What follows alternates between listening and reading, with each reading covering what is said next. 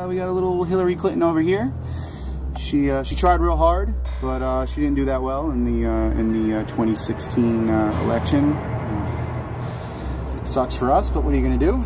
So we got stuck with that that crazy man. You'll see you'll see how we got rid of him later. Very apt, very apt, but not today. So here she is. Look at her. Right here. A lot of people think she's a witch. So uh, let's see how she fares uh, for witch trials. So we tried, we tried hanging her. That didn't work. We tried sinking her in the river. That didn't work. So there's only one option left.